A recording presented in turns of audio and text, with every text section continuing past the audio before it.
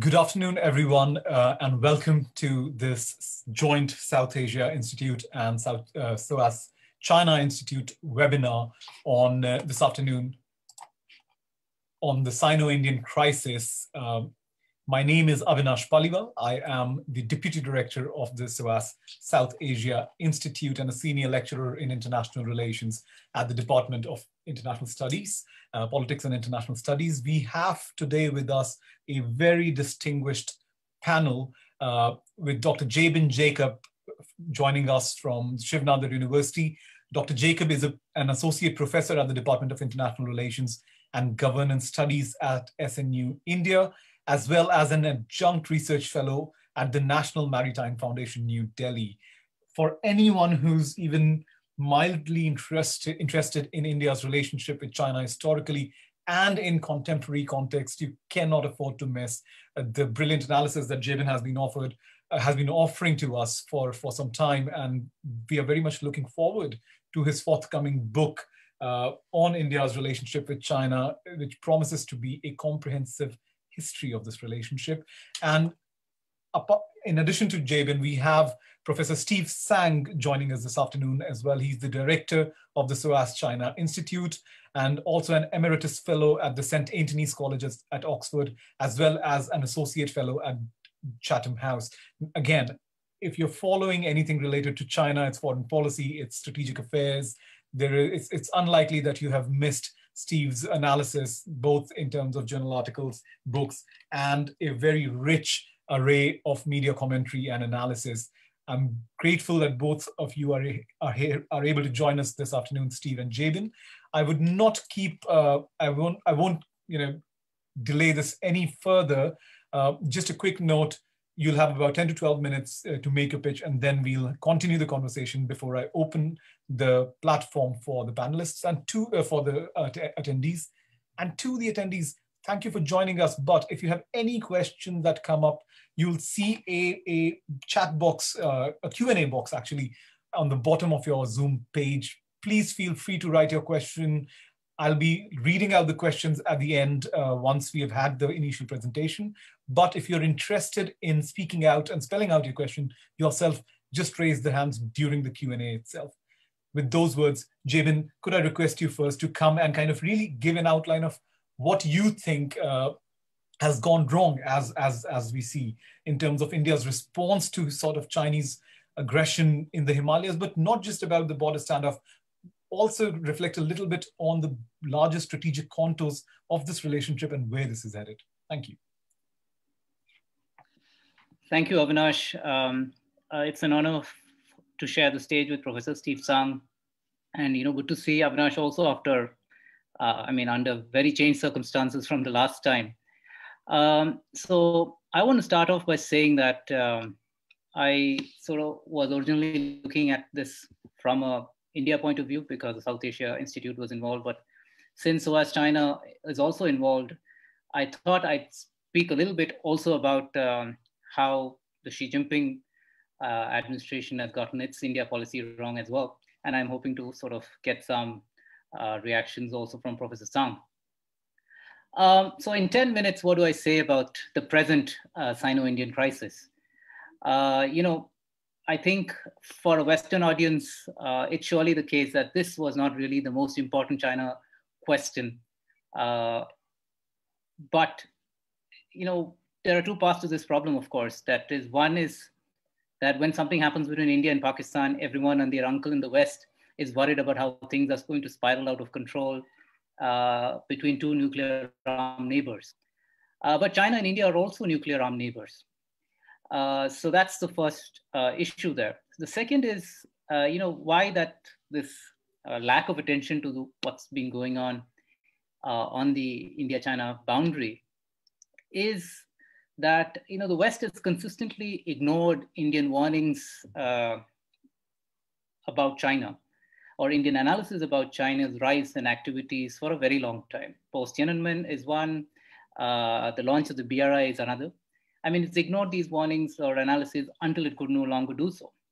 Now, this is, of course, not to say that the Indian government got its policies right. Uh, now, why is this so? I think one uh, this government, the, the BJP government under Narendra Modi, um, is a different government from its predecessors in terms of its expertise on Indian foreign policy or on India's China policy specifically. And one has to sort of uh, separate the government from the analysts. I mean, I think the analysts in India still get their China correct uh, by and large. But the government itself, I believe, is a little wet behind the ears as far as China is concerned. It has good people within the system to advise it, but it does not seem to be the case that it has taken this advice very seriously. And I say this for a number of reasons. One, uh, the government came in in 2014 uh, with a bang on the Tibet and Taiwan policy. Both the uh, Tibetan representative uh, as well as the Taiwanese representative were invited to Narendra Modi's swearing in ceremony. But after those high optics, uh, you know, this sort of policy sort of well fell by the wayside. Second, uh, the government, the Indian government was engaged in very poor PR in the wake of the Doklam standoff in Bhutan. I think it pretty much let the Chinese run away with the narrative internationally. Uh, but by far the largest, the biggest mistake that the government made was to engage in these so-called informal summits with uh, between you know Xi Jinping and Narendra Modi, and whose some achievement I think uh, was some of his achievements has been to get India blindsided by the current crisis on the LAC. Now, also in the wake of the crisis, I think the government has spread its energies rather thin by expanding the ambit of talks, in the beginning at least, to beyond the military commander level. Uh, the working mechanism, of course, uh, on the boundary dispute already, of course, that kicked in. But there were also meetings between the foreign ministers and the special representatives on the boundary talks, which is to say that the talks uh, went on at a political level. Whereas my, uh, I mean, any my assessment is that this is not a crisis that is going to be resolved by political talks. China has, uh, you know, done what it could, taking full well uh, into account the fact that uh, there would be consequences, uh, that they were going to um, anger the Indians, that they knew very well they, what they were getting into. So it's not something that can be resolved politically. If it's a, the military issue on the ground at the LAC, it can only be talks uh, between the military commanders or actions between the military commanders that will result in a resolution to this. Or if not a resolution, then a permanent stalemate.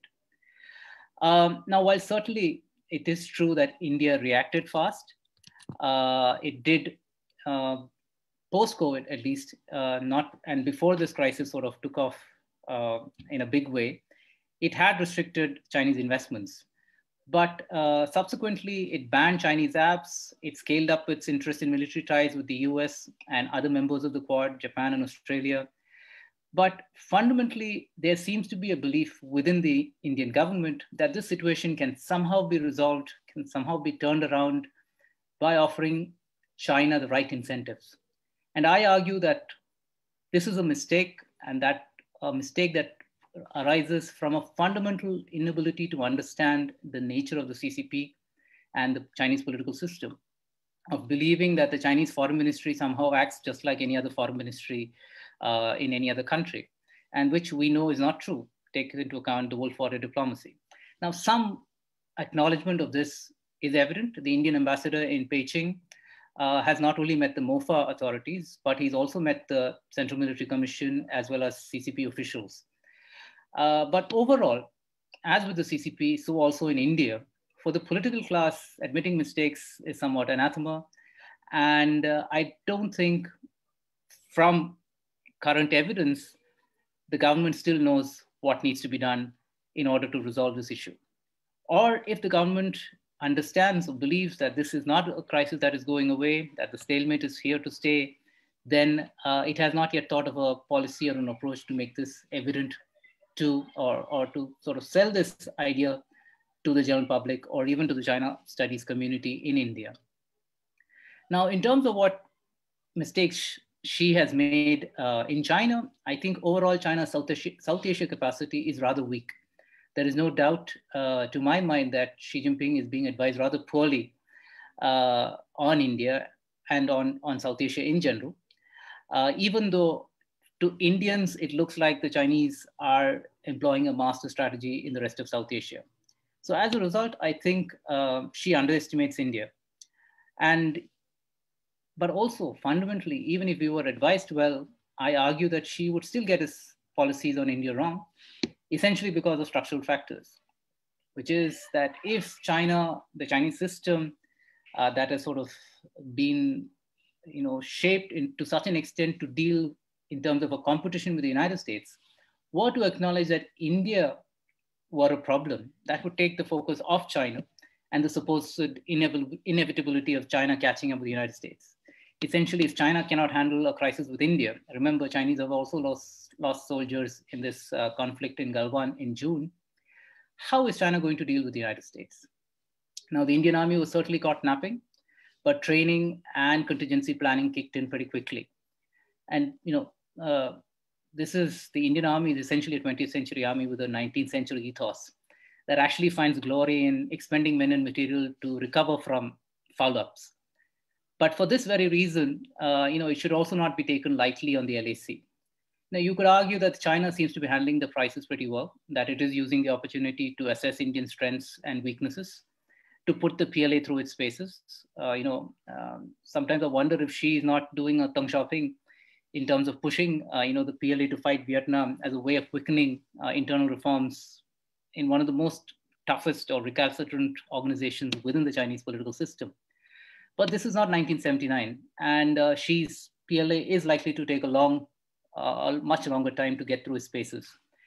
In uh, a battle terrain, I would remind you that does not seem to help in any sort of planning or contingencies involving Taiwan or the United States. So it's it's a bit uh, i mean that has to be kept in mind now she continues what are the mistakes that china is continuing to make? I think Xi's actions unwillingness to apologize to india or to restore status quo ante april 2020 has fast forwarded a whole set of relationships and actions by india that would otherwise not have taken place at the same pace. I referred already to the quad.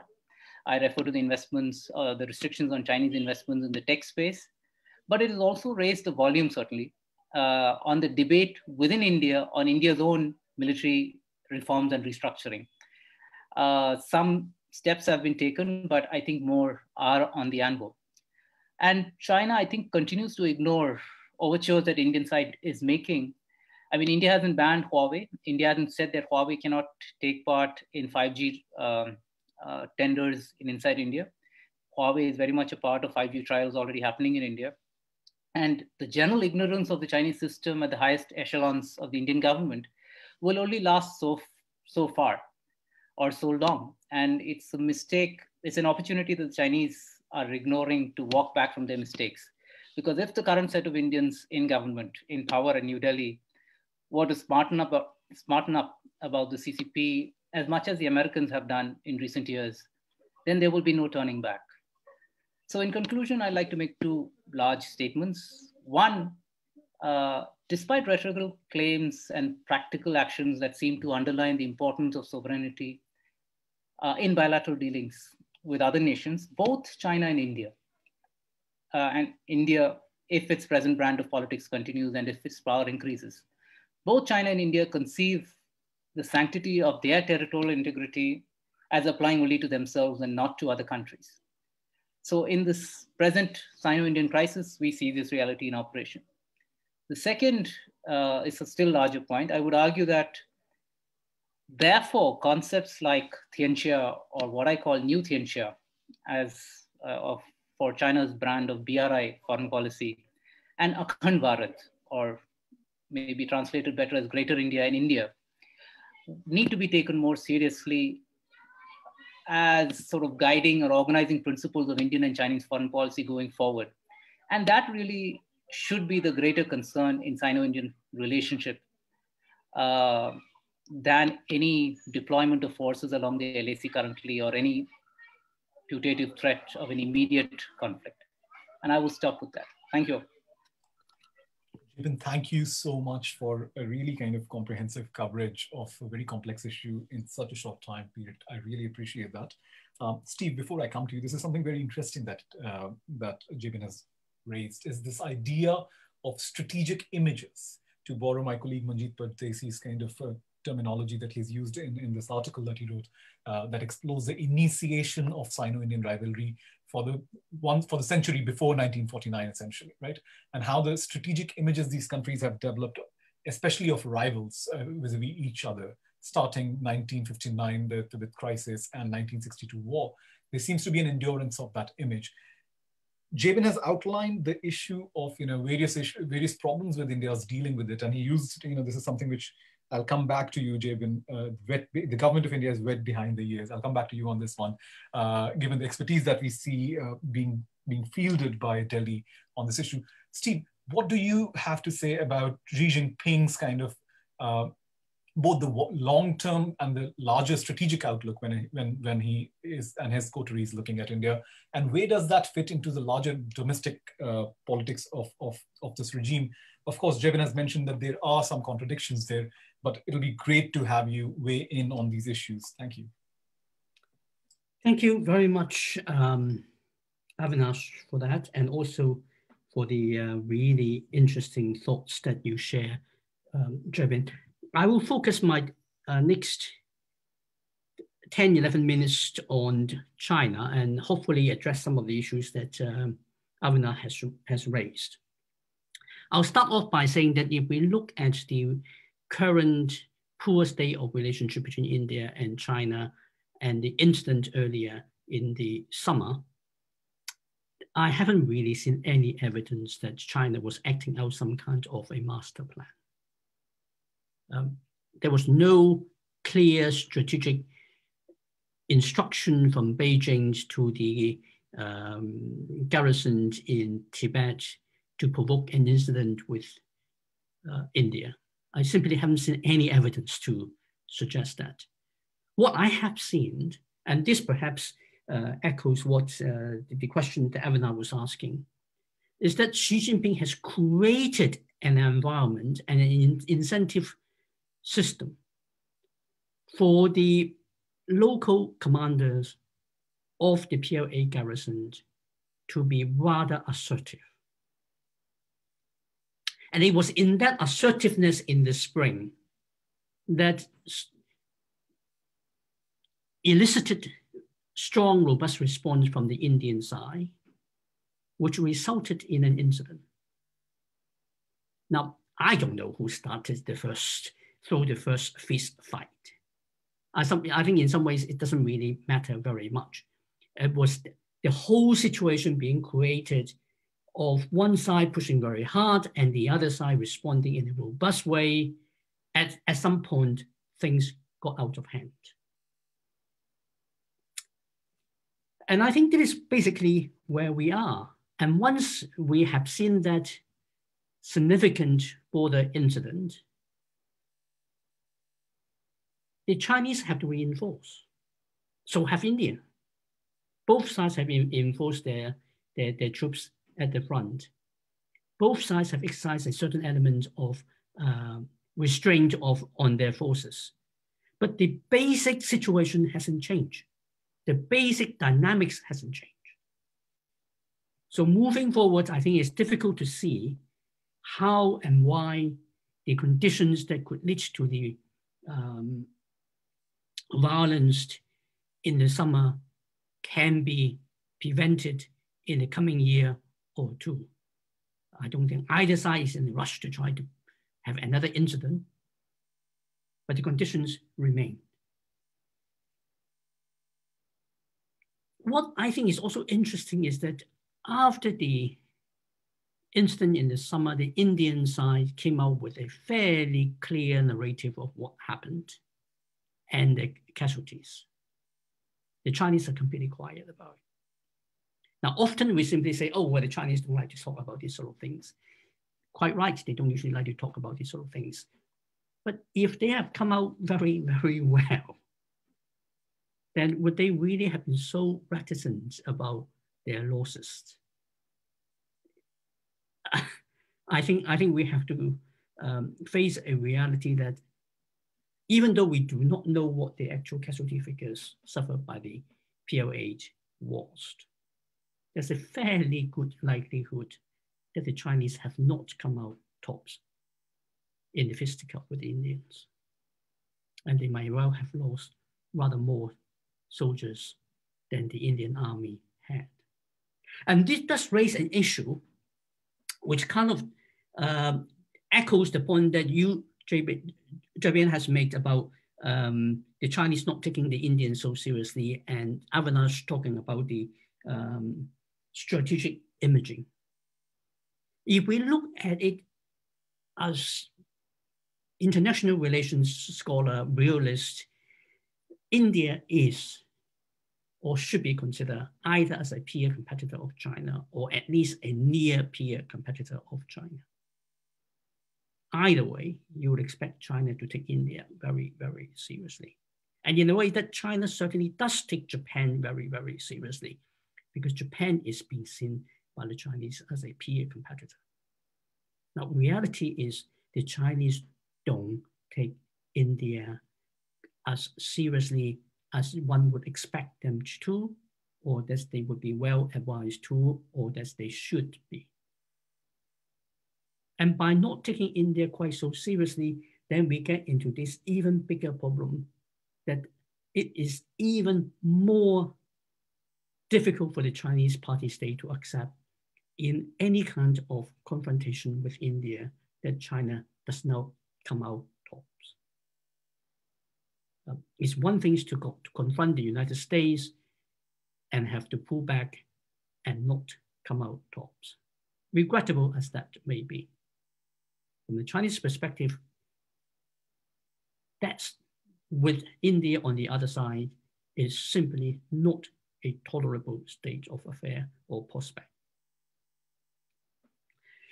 So what we will be seeing, I think, is that the Chinese are going to take a robust stance over the border region. Um, and the border region is in fact a strategically important one because it is where the main strategic highways from, from, from, from, from Tibet gets into uh, India.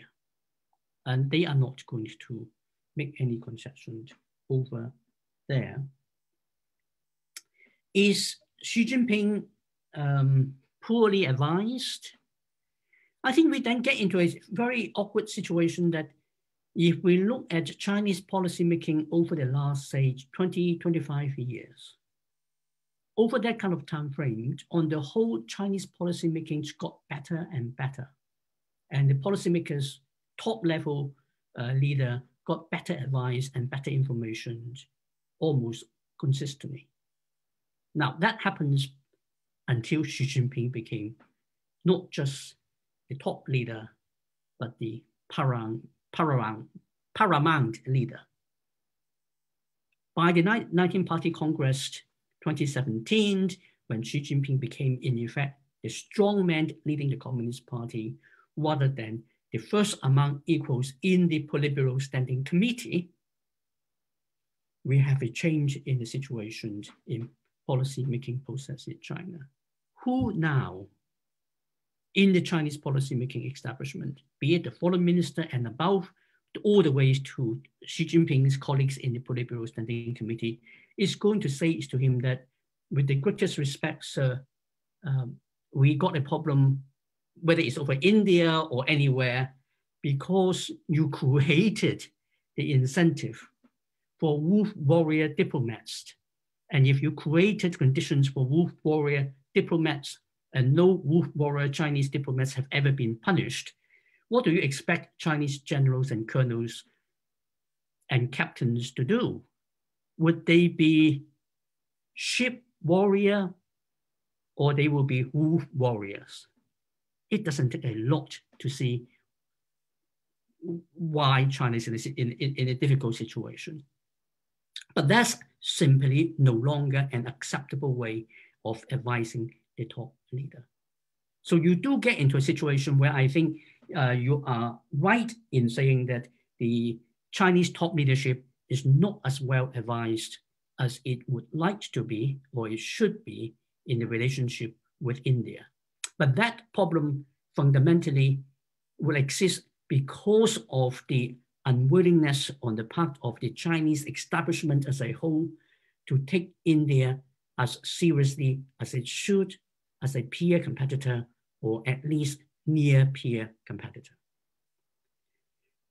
There is also, I think, an issue that the Chinese Communist Party fundamentally believe that China, by definition, is never an imperialist. That China, by definition, is not aggressive.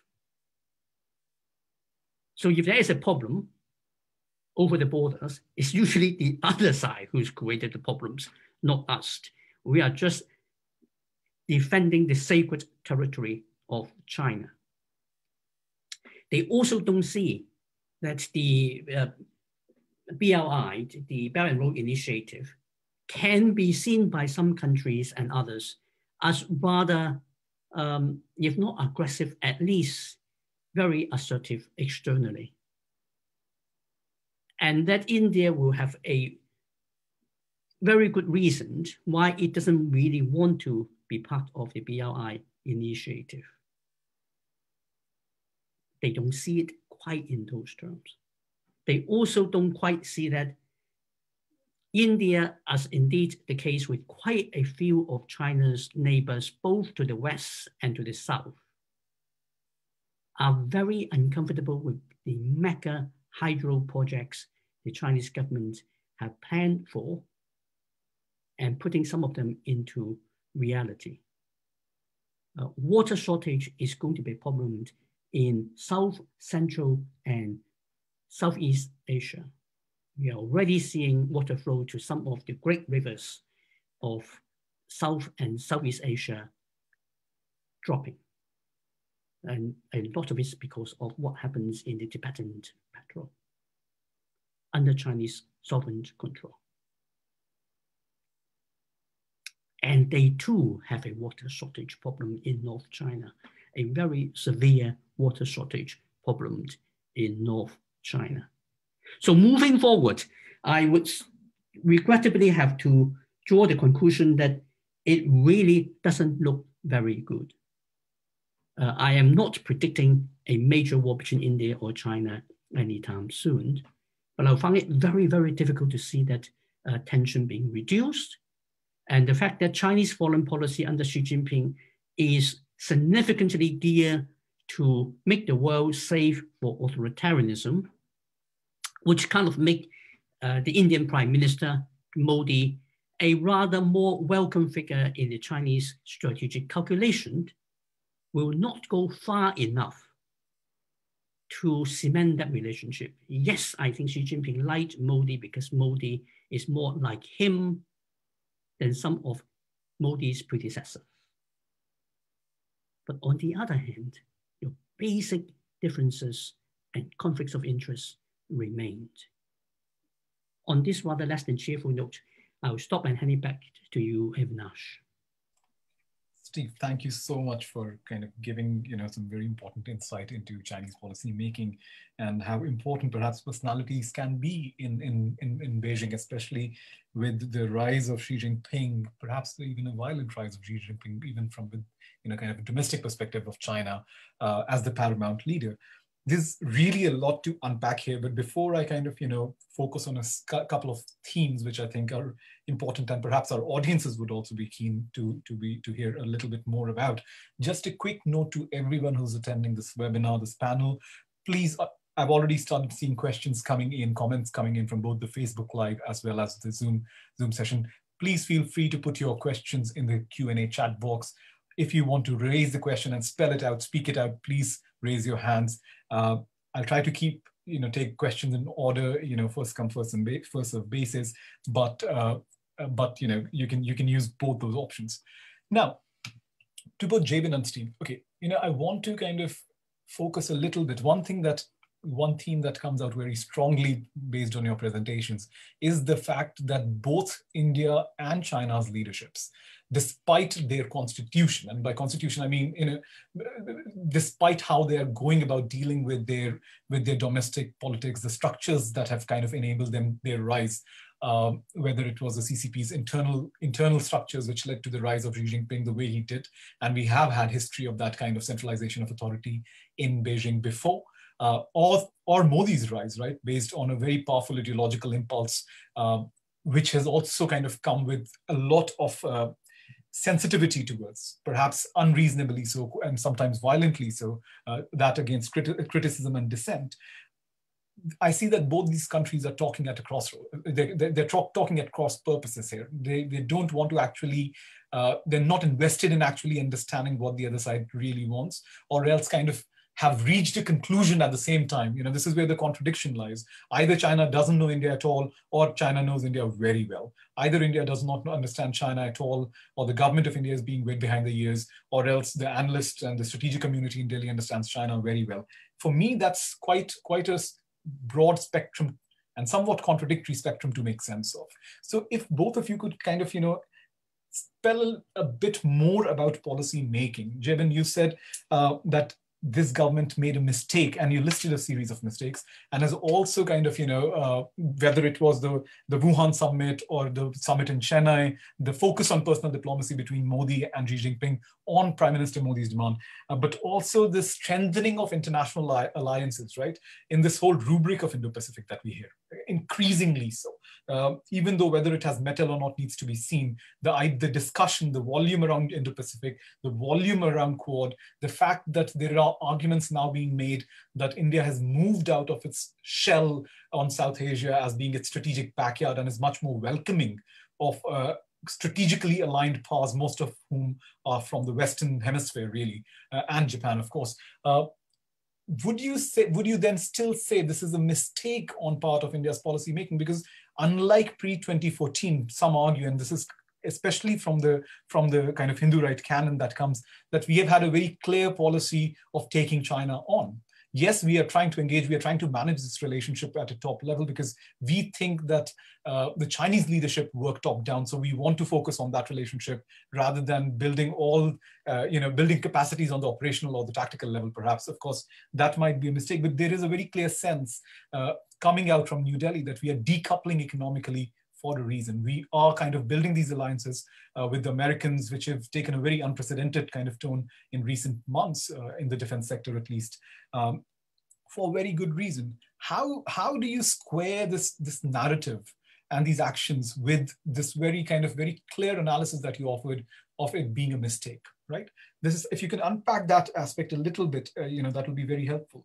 Steve, the question for you is, you mentioned that uh, there is that China has historically not taken India seriously the way perhaps it does Japan for historical good reasons, capacity reasons, but also history, uh, as well as, of course, the United States.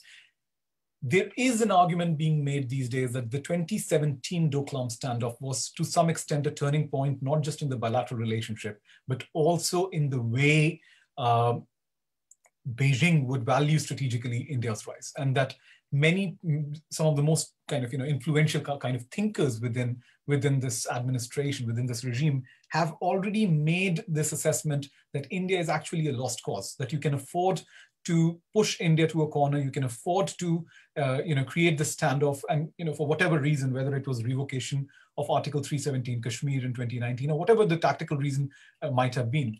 But they have they see india as a lost cause in a strategic sense. Would you say that is correct and if that is not correct in your view, and that they must take it India much more seriously than they than they do, how do you see what is the threshold of change really? You know, at the moment, it doesn't seem that the two countries will go to war because it's not in neither of the two, two's benefit.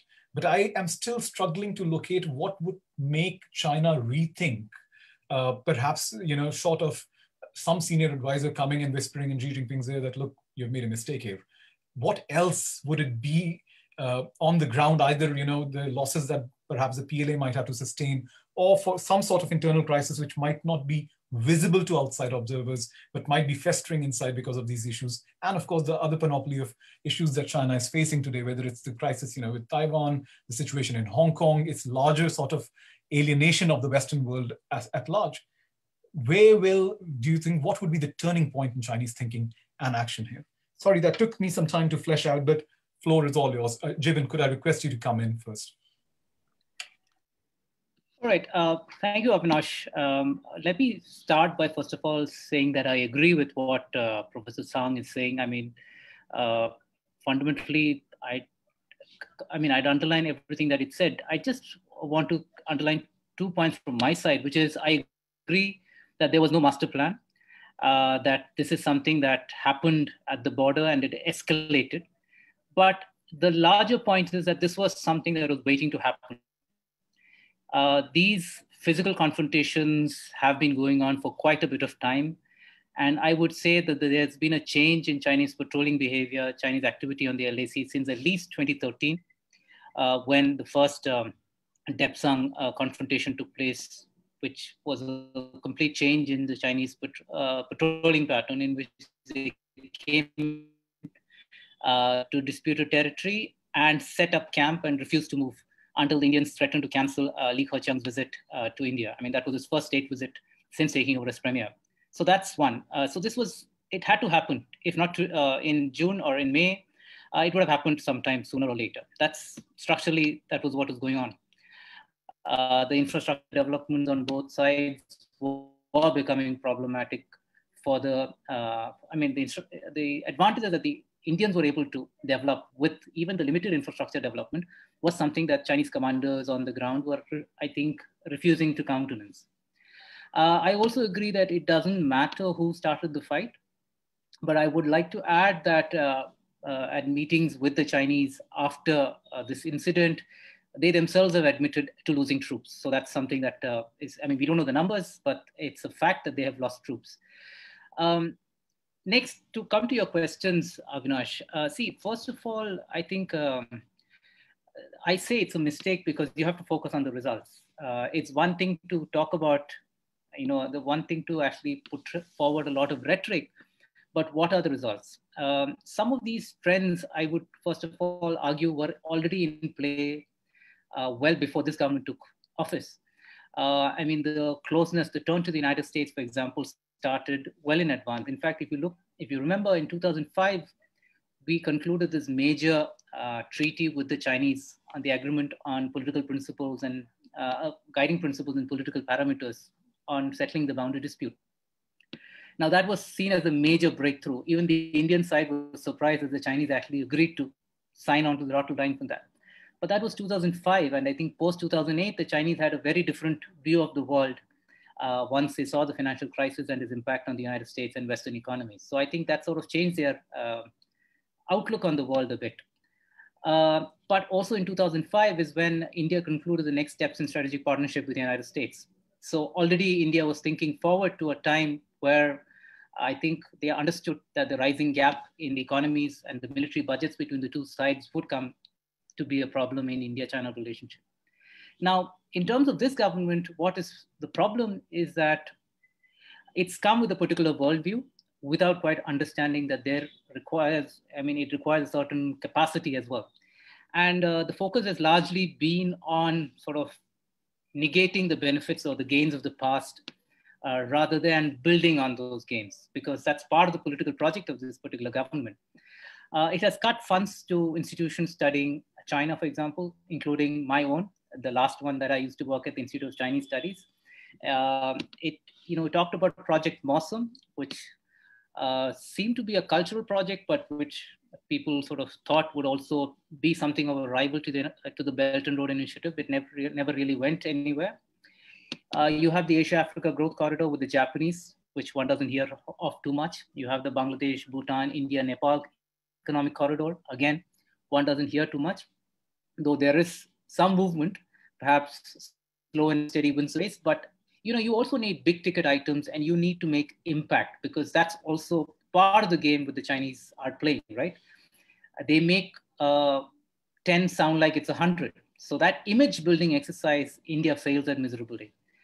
Uh, second uh, and also importantly here india seems to have closed all doors to pakistan.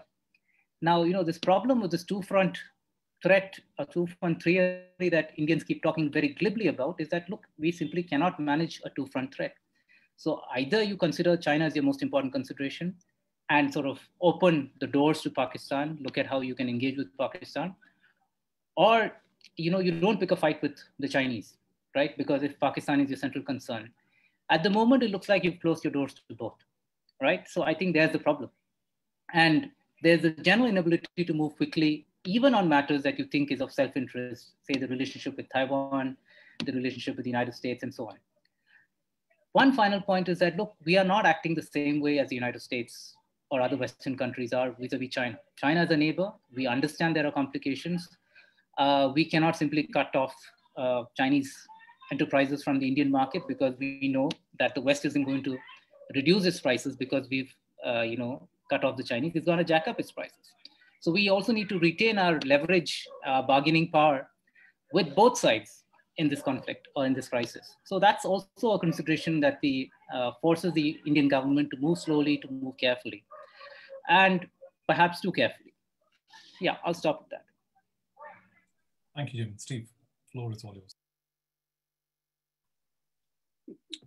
The, I think, very important questions you put to me, Avinash, is what will it take for Xi Jinping to take India seriously? I think there's not a huge amount that um, can be done to get in, get Xi Jinping to take India very seriously.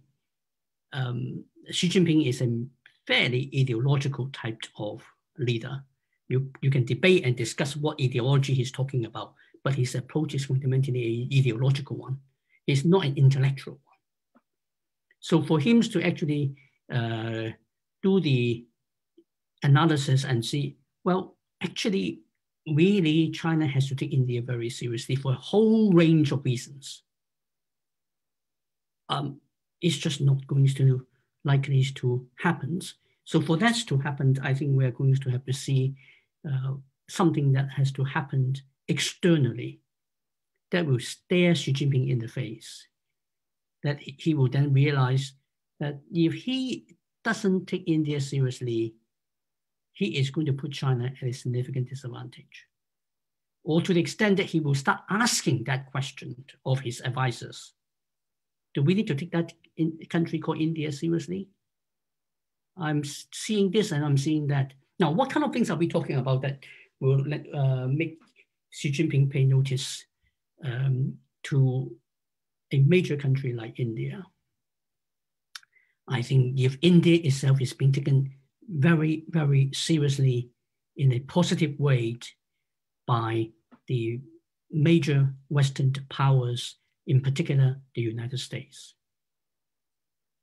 then the Chinese will start to pay more attention to what's going on there. What's their game? Is there something that I need to worry about? Is there something that I have to do about India as to address this. I think that is one, one, one thing that will take it, um, get Beijing to pay serious attention to India in a very um, proactive and um, positive sort of way. The second one is a very negative uh, way of getting China's attention. If India asserts itself as the master of the Indian Ocean, that again, I think will get the attention of the Chinese. Uh, one of the strategic developments under Xi Jinping is that China sees itself as increasingly a global power. And if you look at the kind of military modernization program that the Chinese have had under Xi Jinping, far more focus been devoted to the Navy and then the Air Force, and only after that, the land forces. So the maritime security is a very important factor for the Chinese, and Indian Ocean happens to be a strategically very important part of this Chinese calculation. Nothing quite like South China Sea, nothing quite like the immediate Western Pacific within the so-called first island chain. I mean, that takes first priority. But once you are looking at the longer term strategic uh, security of China, of its natural resources and energy resources, then the Indian Ocean is strategically very important. It's right in the middle of the maritime Silk Road.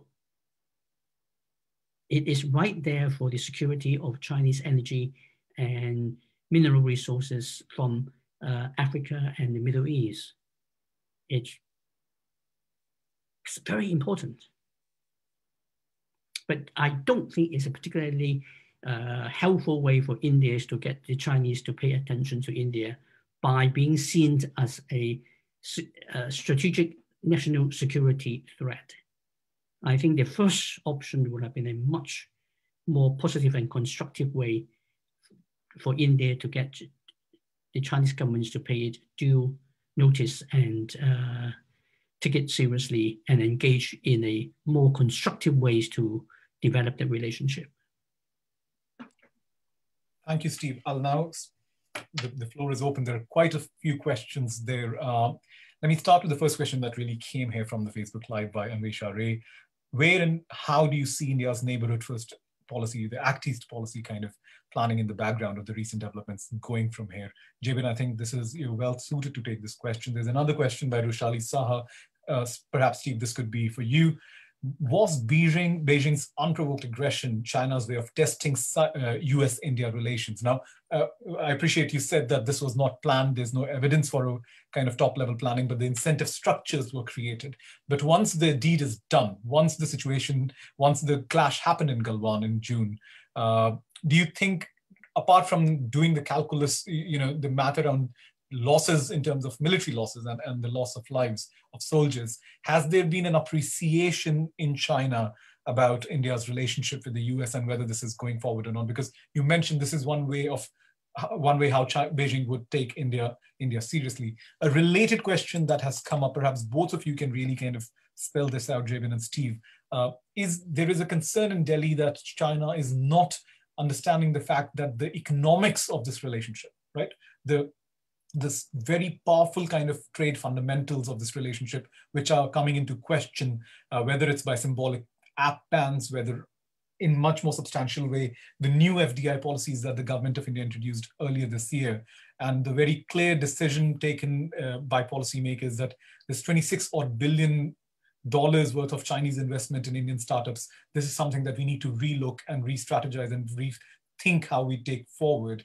Uh, in Indian thought, the boundary situation and the economics are related issues. They are not separate issues. They cannot go hand in hand, uh, you know, as they perhaps have been during the 87, 88 to 2012 period when we can call a larger moment of thaw between these two relationships. Uh, Steve, why is it, is it really true that China thinks of these two trades, trade and, you know, the, the economic leg of this relationship and security issues separately? Thank you. Whoever would like to come in, Jim and Steve. Um, I mean, I, I, I can come in first with your with with your very sub specific um, China China India economic side of the story. Now, the Chinese government put economic relationship and geopolitical objectives together all the time. Um, it is not something that they are hesitant about they don't separate them at all. They regularly weaponize economic trading investment relationship with other countries in putting pressure on the other side to ban. Um, the current dispute with Australia is a good example. Your um, recent ex ex example with uh, South Korea and the deployment of the THAAD anti-missile system is another, and then the list goes on. So uh, the fact that the Indians will relate economic relationship with the border uh, incident is not something that they don't uh, expect or take seriously. And whether, why they don't take it quite so seriously is the sheer size of the, the Chinese, Chinese economy and compared to the Indian one. Um, they don't find it that threatening. Um, I think and that's why they are not taking it quite as um, seriously as it uh, would be the case. I think if you are here substituting India by the uh, USA or by the EU as single actor uh, with that kind of economic relationship, I think the, the, the effect would be much more powerful on the uh, Chinese side in their, in their calculation. Thank you, Steve. Okay, um, so I did briefly refer, maybe not in so many words, to India's neighborhood uh, policy, I think the first thing I said was India needs to fix its ties with Pakistan if uh, it has to take China seriously, if it has to have the resources to devote to China. But uh, of course, we have to be realistic, and uh, the China Pakistan relationship is one part of uh, keeping India busy, right? And so, even if India were to make the approaches, it's not certain that the Pakistanis would accept. Uh, perhaps it's too early for that. The Pakistanis need a little more experience with uh, the Chinese through their China Pakistan economic corridor before uh, they realize exactly what's going on. Um, some of the initiatives that India has set out in the neighborhood, like BBI, and like I said, uh, some advances have been made, but not enough, not quickly enough, perhaps. And of course, India did very poorly by its uh, fuel blockade of Nepal, which uh, really is, I think, some sort of a turning point in that relationship, uh, which really, I mean, look, India's, uh, China's presence in India's neighborhood is really all of India's doing. India has let the ball uh, slip. I mean, it has sort of made the rather obnoxious statements or actions that has allowed China space in in India's own in India, India South Asia neighborhood. Having said that, it has we have to remember that the Chinese, as the Chinese keep reminding us, that this neighborhood is also a neighborhood for Ch China. So uh, the Chinese also have a right to be in that area. Um, I think uh, we need to have a little more open mind. Uh, I mean, a more open mind on China's economic presence in the neighborhood, but also, um, and this brings me to the economic part of the question, which is that uh, we need to be wary of China's presence in the tech space in any of these countries, because that would mean uh, blocking India's presence in this uh, in this sphere in any of these uh, India's neighbors.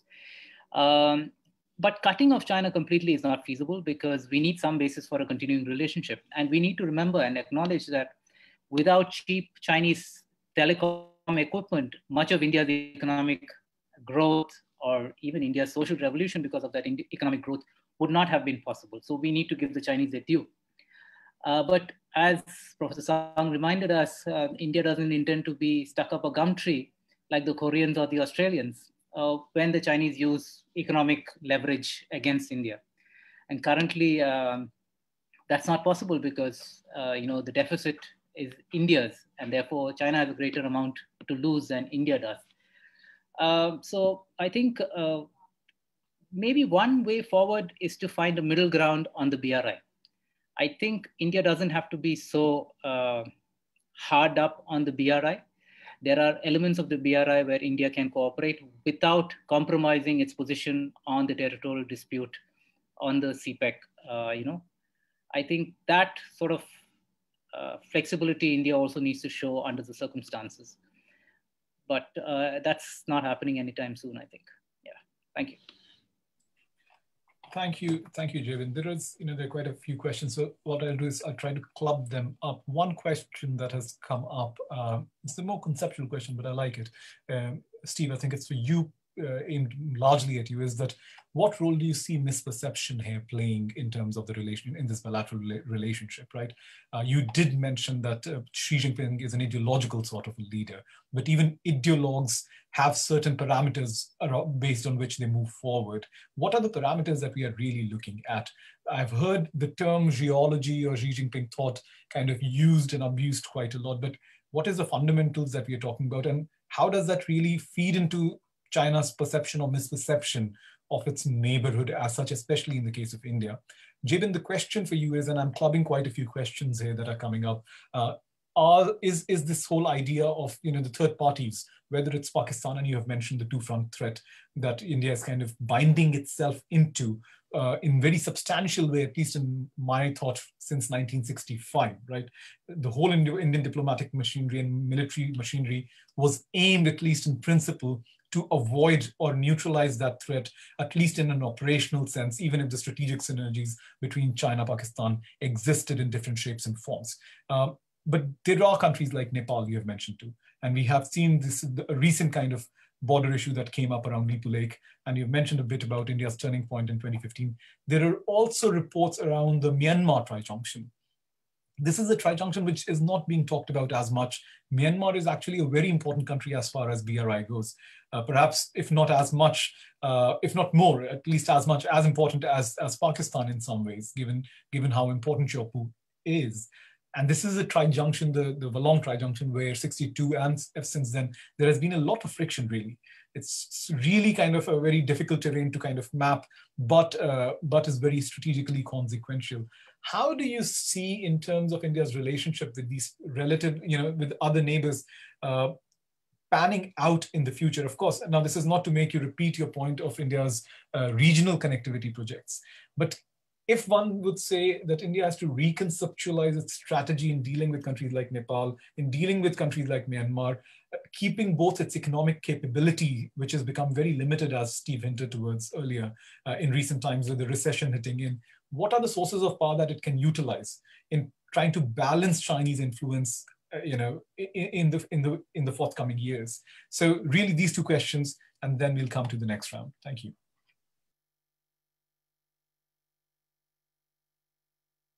Jabin, would you like to come in first this time? Thank you. Sure. Um, so I think fundamentally, um, I think the countries in South Asia aren't really in a position to completely, uh, you know, hold the gun to India's head. Uh, they have their limitations. Uh, the Chinese also have the limitations uh, geographically, culturally, and whatnot. Uh, so, in a sense, the neighborhood first policy, despite initial missteps, I think uh, in in the last few months, I think we've certainly seen a recalibration of that policy the outreach to Nepal, for example, has been going pretty well, at least from reports. Uh, but essentially, you know, the neighborhood first is also not a new concept. What it needs is really a return to the origin, uh, which is the original concept, which is of the Gujral doctrine, and accept completely and fully that India needs to be the uh, bigger hearted player, as it were. Reciprocity cannot be expected of uh, its smaller neighbors. It needs to allay the fears that the smaller neighbors have of Indian hegemony or in, a return to Indian hegemony by allowing smaller neighbors to interact with other powers. Uh, and then you see that some initial steps of that happening, for example, by the American presence in the Maldives, for example. So some of that rethink, I think, is going on. But I come back to what uh, Professor Tsang said about um, you know India's Indian Ocean strategy. Fundamentally, to be able to deal with, and this is to answer the second part of your question, fundamentally to be able to deal with China, we need to have asymmetric advantages elsewhere. We really cannot match a soldier for soldier or you know um, dollar for dollar on the LAC. But where we have an advantage is Indian Ocean, not in order to threaten China, but in order to build up capacity in Indian Ocean neighbors, uh, to reach out to them better, that capacity needs to be built up. Uh, you know, India needs to keep its promises. A fundamental problem with Indian diplomacy in its neighborhood or elsewhere is that India promises a great deal, but does not seem to be able to have the capacity to keep its promises. A lot of this has to do with internal issues or internal restructuring issues. For example, the military is not used full well as an arm of Indian diplomacy the hierarchy in China is the PLA ranks outranks the MOFA by far, but in India it's reverse. And the Indian military is not an instrument of Indian foreign policy or Indian diplomacy as much as it could be. And the only instrument really that works in this uh, sort of uh, situation is the Indian Navy, which is the most underfunded of all three services. Quite the opposite of what uh, Professor Song was talking about with respect to the PLA Navy. Um, so and with you know the tri-junction issue with Myanmar or the fishtails, uh, you know, between Arunachal and China, I mean, this has been something that has been going on for a very long time, extremely complex. But these are situations that have been sort of, shall we say, war gamed or you know scenarios have been built up on these for a very long time. I don't see this as fundamentally uh, creating problems, any additional problems in the India-China relationship than already exist. I think bigger issues include our uh, relationship over technology, our relationship in terms of uh, the Indian Ocean, and in terms of how India builds its ties with the United States and neighbors further afield. Uh, those, I think, are the key, key issues in the India-China relationship. Thank you. Thank you, Jim. Steve. I don't know whether you know, uh, Avinash, that I have been working with a colleague on a project on Xi Jinping thought for about a year. So I kind of rather welcome this question about how we should uh, define the strategic parameter of, in Xi Jinping's thought in terms of his approach to foreign policy. Xi Jinping thought is remarkably thin. It's nothing quite like Mao Zedong thought, where you have really quite a lot of stuff in there. And so to sum up in a very sort of uh, slightly naughty and simplistic way, Xi Jinping thought on foreign policy is quite simply about making China great again by underlying the central leadership of the Communist Party and making China rich and powerful in that process. And in the more practical strategic terms, the Chinese government does not accept the implication of the American change of the American Asia Pacific Command into the Indo-Pacific Command. The Chinese government still basically see it as the Asia Pacific issue rather than an Indo-Pacific issue, which is why they are not taking India as seriously as they should. And in that conception, the very centerpiece is in fact a little island called Taiwan. Taiwan is absolutely critical in that strategic concept, conception because Taiwan is right in the middle of the first island chain in the maritime strategies that the Chinese government has developed and now intends to put into reality. And Taiwan exists and continues to exist as a free and independent entity because of American support. If one way or the other, actual use of force or threat to use force result in Taiwan becoming part of China, it would have implied that the Americans would either have been deterred effectively or sufficiently defeated to pull back. Either way, the Americans would be a spent force in the region. Japan will have to completely rethink its strategic uh, approach. The whole of Southeast Asia will simply sail with the prevailing wind directions and side with China, whatever the Chinese government's positions will be. And the whole region will fundamentally change in the whole strategic balance. And this is what they really are focusing on for the next 10, 20 or so years. I don't think they're even looking at 30 years. They're not, I think, planning on allowing the current state of affair to continue to exist beyond a maximum, say about 20 years or so. And of course, in this calculation, once they have got that fixed, India will fall into place. I mean, what would, what will India then do? What can India then do? What can Europe do? What can Australia do? If America essentially will go back to the uh, American continent. Thank you, thank you, Steve. Uh, we have a question, I think, uh, from from Shovik. Shovik, would you like to speak up? I know you have written it down, but if you if you want to spell it out, please, the floor is all yours.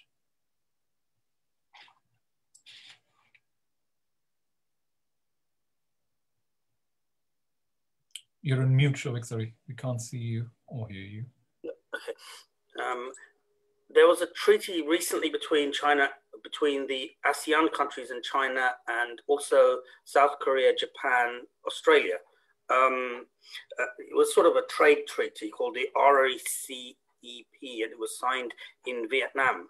Um, it was signed in the last month in Vietnam, and um, India wasn't part of this treaty. India wasn't a signatory to the treaty, but India does trade a lot with China. So um, um I, I was, I thought India is kind of left out in the cold a bit. Um, and also, there is the issue of uh, the 1962 India-China War and the territorial issues from the from that war in Kashmir and in Arunachal Pradesh have not been resolved, have not really been resolved, um, and that and that issue could flare up again. Um, so, I mean, um, those those um, those are the things that um, that really occur to me the most. Could I, could I could I also request you to quickly introduce yourself? Thank you. Yeah, um, my name's uh, Shuvik Datta, and I'm uh, um, a teacher of English as a foreign language and um, an interpreter for NHS and social services. Um, Thank you.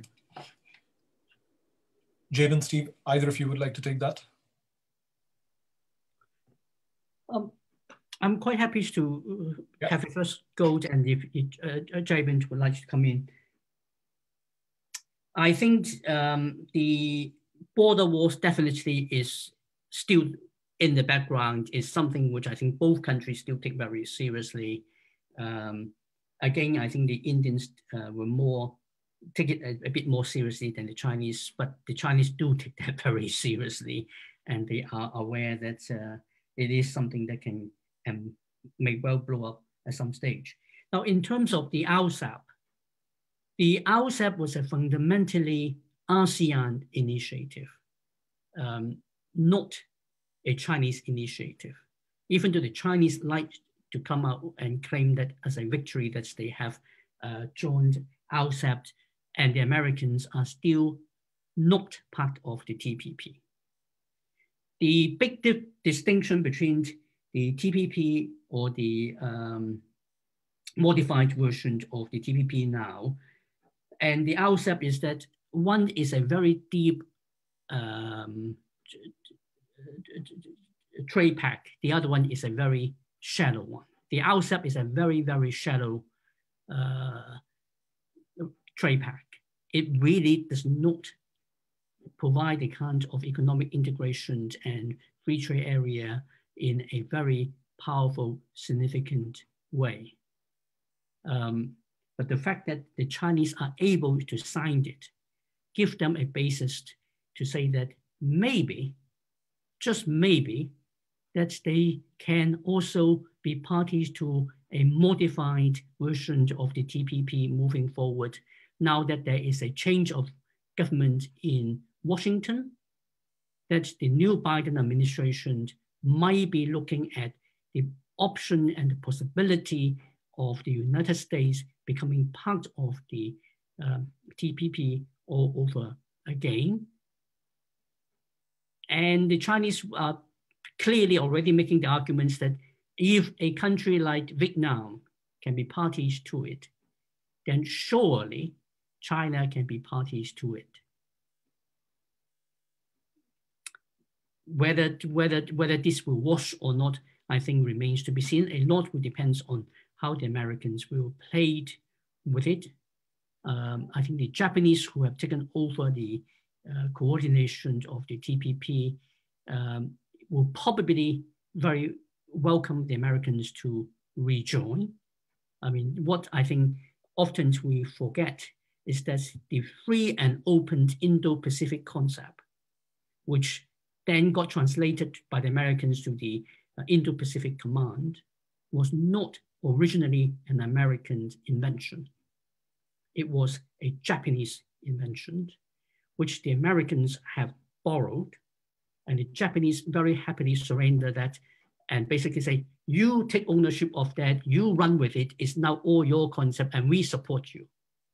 I think if the Americans want to try something like that with a version of modification of the TPP, it's very likely the Japanese would uh, take a similar approach whereas the Japanese may not be quite as open-armed in welcoming China to be party to it in the way that the uh, Chinese are accepted by RCEP.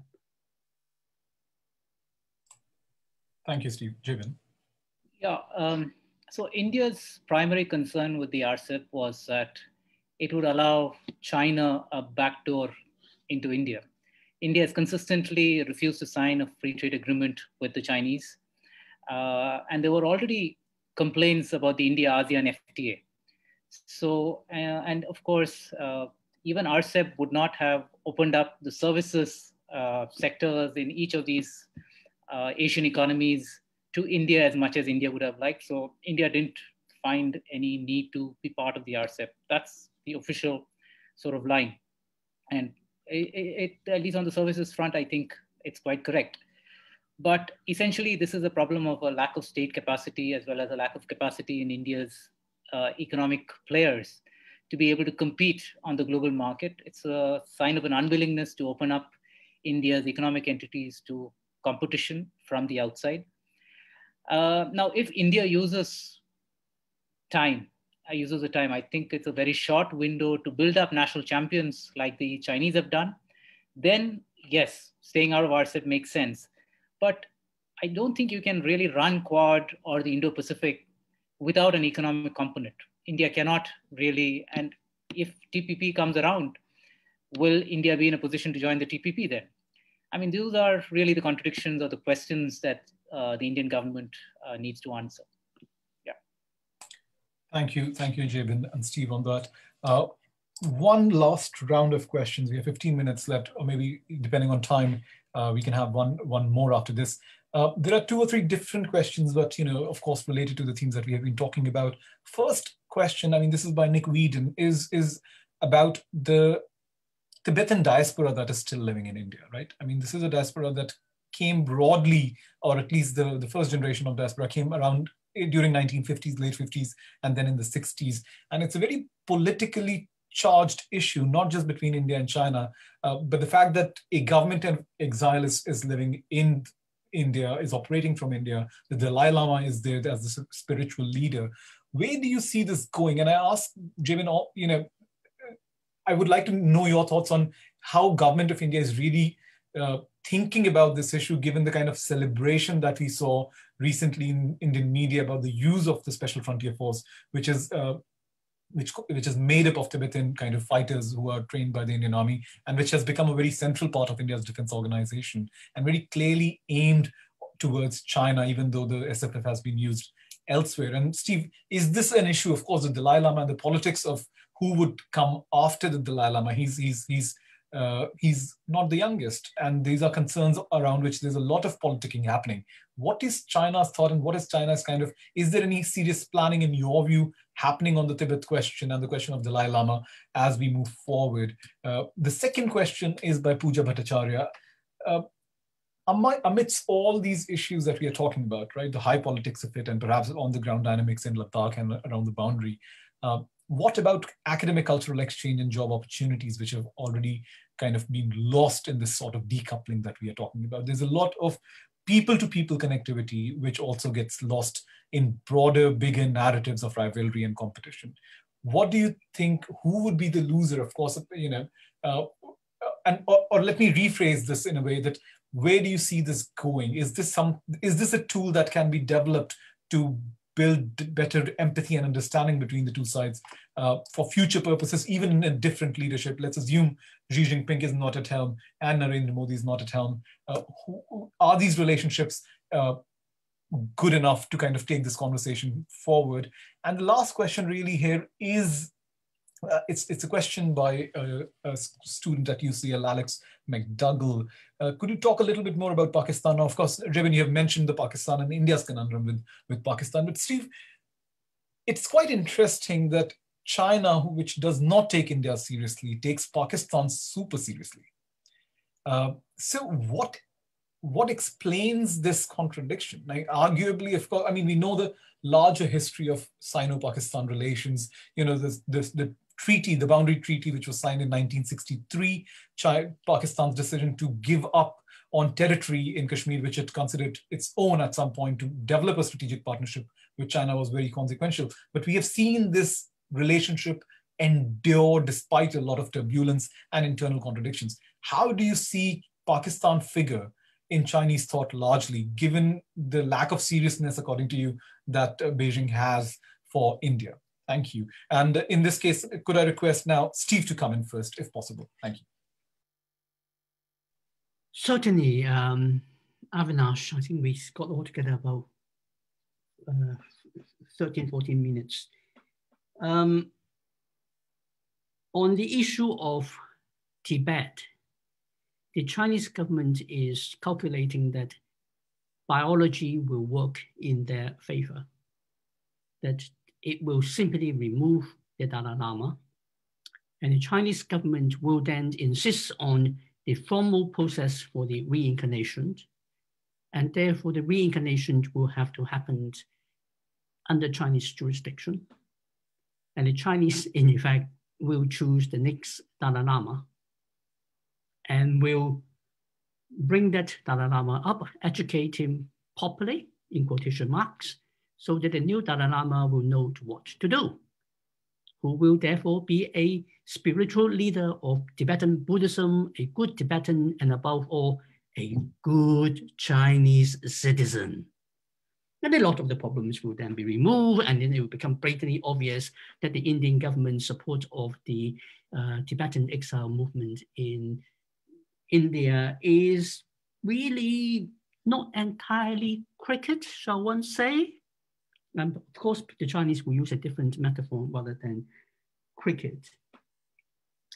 Um, in terms of the academic exchange, I think we have to bear in mind that we now use the term decoupling mostly in response to misguided policy on economics that were raised by uh, Donald Trump in 2019. But if you are looking at decoupling in terms of the people-to-people -people academic type of exchanges, it really started with Xi Jinping back in 2013 when he issued document number nine, which was a top secret document, which we now all see, and you can just Google it and you will find it on the internet, by somebody who leaked the, the document and paid a price for incarceration for it. Document number nine basically outlaw a whole lot of Western concepts like universalism, constitutionalism, uh, free media, and the whole lot of things. So by the implementation of article of, of document number nine, Chinese academians are being closed off from a lot of context with the outside world. And therefore, um, India too.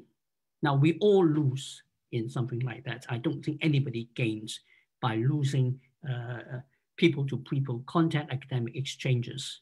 But I would say that the, our Chinese colleagues, our liberal minded, uh, good academics in China probably are the people who lose out the most because they get punished for simply doing the sort of things that um, Jabin, you in India, I in London do on a regular basis. And that's not good for anybody. In terms of the Pakistan, I think it's a very good and important question because if one asks about China's allies, then one country stands out as China's most loyal ally. In fact, the only true ally. And that is called Pakistan. It's not North Korea. It's not the other remaining Leninist party states like Vietnam or Cuba or even Laos or Cambodia. It is Pakistan. It's a long-standing, only true loyal friend that China has, in spite of its new attempts to reach out to the world through every mean possible, regular diplomacy, public diplomacy, soft power, sharp power, you name it, they try it. They only got Pakistan as one reliable, dependent, true ally. I think that kind of explains why the Chinese do take Pakistan rather more seriously than they do take um, India. But even having said so, the Chinese don't exactly treat Pakistan as a complete equal partner in that equation either. It's a junior partner. I think the Pakistanis know about that. Uh, they live with it. Are they really so comfortable and happy about it? I don't think so. I think when you have uh, Imran Khan, the prime minister, being asked about Xinjiang, and he will say, I don't know anything about it. Uh, knowing full well that nobody in the world will believe that the prime minister of Pakistan can be completely ignorant of what happens in Xinjiang. Um, he knows he, he, he knows the, the nature of the relationship and he knows how he needs to play that game. And because he does, the Chinese are happy about it. And they will continue to have a good relationship there. Thank you so much, Steve. Uh, Jabin, the final yeah. word. So I'd like to sort of, again, back up what uh, Professor Tsang uh, is saying. Let me start with the Tibetan diaspora issue first. Um, now on the SFF and uh, things like the surgical strikes, you know, the SFF has been used, as you said, Avinash, it has been used before. Uh, so this is not, not something new. The advertisement given to it, the publicity given to it is what is new. Um, now on the question of Dalai Lama, um, the Indians are also hoping biology will act in their favor. And the Dalai Lama lives to 120, I think, what he says uh, he will live to. But um, you know, jokes apart, I think the essential problem is that the Indian government doesn't have a policy for the post-Dalai Lama phase. Uh, one has to remember that while the Tibetan exile population is what 160,000 outside of uh, Chinese territory, um, the membership of the Communist Party of China branch inside Tibet, inside TAR, is 200,000 people. So post the Dalai Lama, I think one can very well, uh, I mean, my sort of very realistic assessment is that's the end of the Tibetan movement because there is not going to be the charismatic figure that the Dalai Lama was to lead the movement. And if the Tibetans turn to violence in some form, then, you know, they go the same way as the Uyghur movement generally has uh, also. I mean, very little attention from the rest of the world. So overall, I think the scorecard is in China's favor.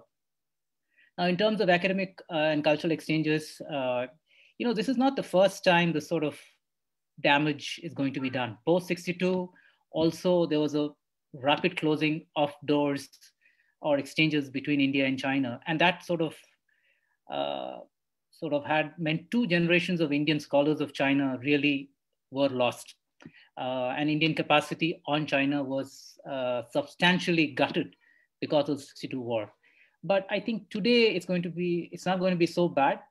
Uh, we have other sources. Uh, more Indians today speak Chinese. Uh, there's a Taiwan uh, possibility to study Chinese language or even American sources, UK sources. But I think the fundamental problem is, as Steve said, that with document nine, that precludes Chinese academics from speaking honestly and openly about the problems in the relationship. So you need honest exchanges between the two sides in order for this relationship to move forward. And uh, you know, we already suffered in India. Indian academics are only exposed to the South Asianists in China, whereas if Indian academics were more able to engage with the general IR of foreign policy people in China, I think we would have a much more fruitful conversation. That has not happened. Now, on one final point on Pakistan that sort of underlines how much uh, India has lost is that in 1950, uh, Field Marshal Ayub Khan actually called for India and China to unite, uh, India and Pakistan to unite against the communist threat of China. That didn't go anywhere. And today we have the China Pakistan relationship where it is at India's cost. That's all. Just if I may, one one last question. I'm really tempted. We still have two minutes left. Uh, you mentioned, uh, and I hope Steve will permit me, you know, as, as being the guest speaker, to take that last question to him. Uh, you mentioned Akhand Bharat. You mentioned this whole idea, the Hindutva idea of Greater India at the beginning, which quite struck with me. Accord that we have often heard about Nehruvian foreign policies or the Nehruvian influence on India's foreign policy thought and practice, uh, even though now there is evidence that this was, you know, this idea of foreign policy uh, being a kind of a sector of policy consensus in India is a contested idea. But Nehru as a prime minister played a very powerful role. And we know that history of this collision of, of you know, the idea of India being an Asian power and China viewing India's idea of being an Asian power as an imperialist plot or British or American power lurking behind Indian ambition in Asia. And that, as Steve earlier mentioned, uh, is something that the CPC ideologically believes itself to be uh, quite the reverse of it, right? China can never be an imperialist. how does Hindu nationalism as an ideology complicate India's postures and its relationship really? I mean, we know that this the idea of uh, a muscular foreign policy, the idea of assertive foreign po policy practices is something which is very kind of deeply rooted in that kind of ideological DNA. And we have seen that pan out not just vis-a-vis Pakistan, but also other countries. With China, do you think this is somewhere the this, this idea of Akhand Akhand Bharat hits a real kind of ideological, but also a practical uh, stonewall, really? Uh, and how does this, how is, is that going, going to affect the, the thoughts, uh, you know, the policy thought and practice of this government moving forward? Um, thank you, Avinash, for that question. I think um, I sort of wanted to leave it out there at the end because it's a very important question, something that we should get back to at some point later. But very briefly, I'd like to say that, you know, um, Xi Jinping had a statement uh, some years ago. He said, uh, what is it? Ta chiu yao ta the yangzi, which means big should look big. So, you know, Nehruvian foreign policy had a certain vision of India's place in the world it certainly wanted India as a major important player, but it still had the uh, view that countries needed to treat each other with respect and that we needed a post-colonial, uh, a post-imperial narrative in India's foreign policy. He did take actions, uh, maybe rough-handed actions on occasion, but uh, what is different with the Hindutva uh, nationalist approach to Indian foreign policy is that it forecloses certain options. Uh, so if India is a larger power, uh, you know, Nepal as another Hindu country will always be a junior partner. Pakistan, uh, because it's a Muslim country or a Muslim majority country, cannot be a friendly power. Uh, even on Tibet, I mean, we just talked about Tibet. The thing is, Akhand Bharat, depending on which map of Akhand Bharat that you look at, there is Tibet is sometimes part of Akhand Bharat, Afghanistan is part of Akhand Bharat, or Myanmar is part of Akhand Bharat.